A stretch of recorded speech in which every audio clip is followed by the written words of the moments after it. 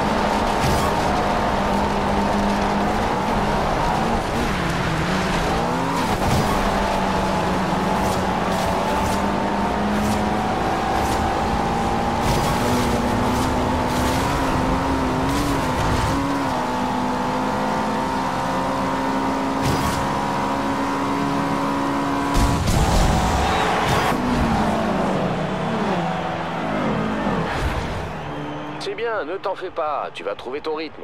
Tu as encore le temps de renverser la situation.